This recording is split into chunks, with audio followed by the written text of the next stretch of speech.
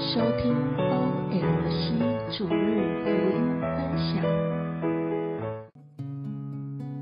二零二二年二月十三日，常年期第六主日，路加福音第六章第十七节二十到二十六节。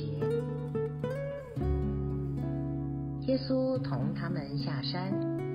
站在一块平地上，有他的一大群门徒和很多从犹太、耶路撒冷及提洛和西东海边来的群众。耶稣举目望着自己的门徒说：“你们贫穷的是有福的，因为天主的国是你们的。”你们现今饥饿的是有福的，因为你们将得饱玉；你们现今哭泣的是有福的，因为你们将要欢笑。几时为了人子的缘故，人恼恨你们，并弃绝你们，并且以你们的名字为可恶的，而加以辱骂诅咒。你们才是有福的，在那一天，你们欢喜踊跃吧。看，你们的赏报在天上是丰厚的，因为他们的祖先也同样对待了先知。但是你们富有的是有祸的，因为你们已经获得了你们的安慰。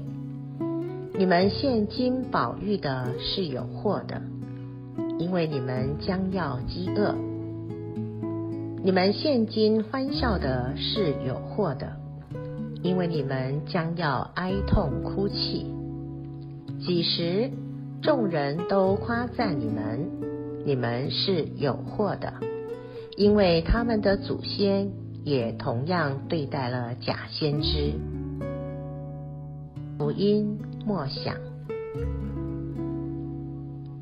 四福与四祸，真是很大的对比，但在对比中却能呈现出基督信仰的灵性准则：贫穷对比富有，饥饿对比饱育，哭泣对比欢笑，恼恨对比夸赞。但是我们不会只按字面的意思来解读耶稣的话语。在四个对比中，贫穷、饥饿、哭泣、恼恨，指的是人在心灵层面感受到有所欠缺的状态；富有、宝玉、欢笑、被夸赞。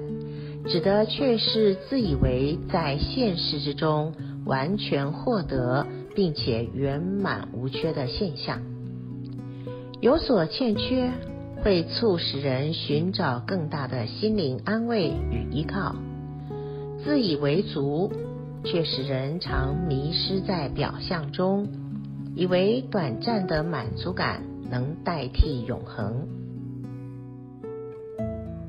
亲爱的朋友们，人生旅途中必有顺境与逆境相互交替。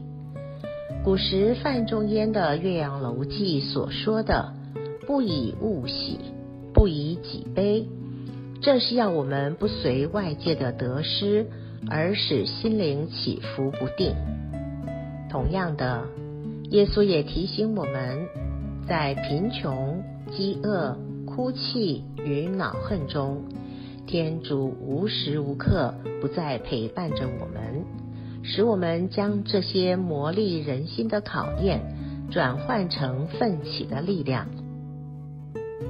至于富有、宝玉、欢笑与夸赞，我们也能知道，一切都不是因着自己的能力，而是来自天主的恩典。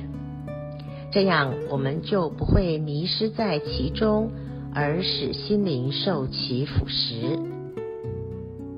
期盼有一天，我们都能在天国享有主内永恒的平安喜乐，与圆满无缺。